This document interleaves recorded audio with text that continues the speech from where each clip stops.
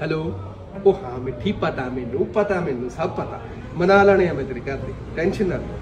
ਹਾਂ ਉਹਨਾਂ ਨੂੰ ਵੀ ਮਨਾ ਲਾਂਗੇ ਉਹਨੂੰ ਮਨਾ ਲਾਂਗੇ। ਇਹ ਕੀ ਕਿੱਡੀ ਬੜੀ ਗੱਲ ਆ ਆਦੀ ਪਕੜਾ ਮੇਰੇ ਉਹ ਯਾਰ ਤੂੰ ਤੇਰੀ ਮਿੱਠੀ ਨਾਲ ਸਾਰਾ ਦਿਨ ਗੱਲਾਂ ਮਾਰੀ ਜਾਣਾ ਇਹਦਾ ਵਿਆਹ ਕਰਾ ਲੈ ਯਾਰ ਕੀ ਦਿੱਕਤ ਆ?